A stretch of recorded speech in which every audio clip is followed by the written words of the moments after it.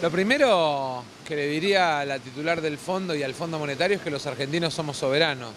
El fondo le prestó plata a la Argentina, no lo compró, no compró a la Argentina. Lo único que está repuntando son los precios en el supermercado, el interés de las tarjetas de crédito, la cantidad de despidos en la Argentina, está repuntando el cierre de pymes y el programa económico no funciona.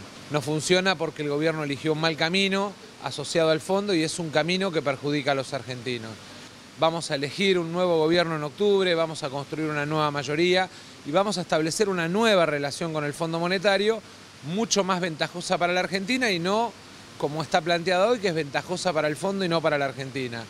Y creo que además es una torpeza negar que en la Argentina la gente no llega a fin de mes, es una torpeza pensar que en la Argentina la gente tenga que andar sacando créditos para pagar la luz, para pagar el colegio de los chicos, para pagar las expensas de los departamentos.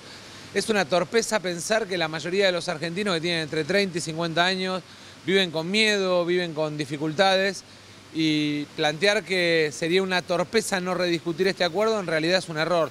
La torpeza es negar la realidad.